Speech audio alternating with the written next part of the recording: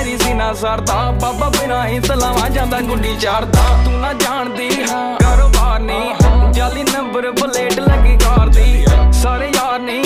ਬੈਠੇ ਵਾਰ ਨਹੀਂ ਕੱਢ ਜਾਨੀ ਜੋ ਲੱਗਾ ਡੱਬ ਨਾਲ